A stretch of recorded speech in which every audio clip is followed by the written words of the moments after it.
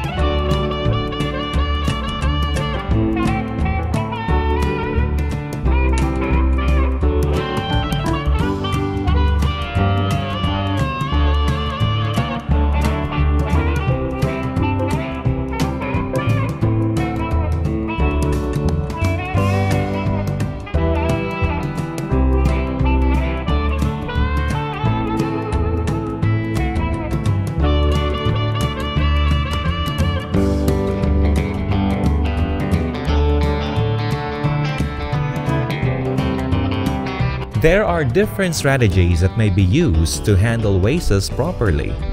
These include reducing, reusing, recycling, recovering, and repairing. Properties exhibited by the waste materials such as hardness, flammability, toxicity, and biodegradability must be considered in choosing the appropriate strategy to use.